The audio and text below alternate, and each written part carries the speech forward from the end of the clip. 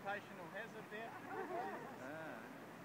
Now this is the Huka Falls anyway guys. If you got your cameras, yeah, you're welcome to take them out and wow. uh, grab some photos.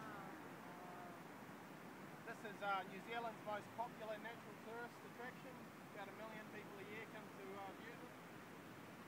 The water that's coming over there is governed by a set of control gates up at the Taupo Township, about 4 k's upstream depending on the uh, power generation required hydropower stations along the Waikato, depends on the uh, level we get here. It's at about 30% at the moment, so quite a way down. When it's up at 100%, there's enough uh, flow coming over there to fill an Olympic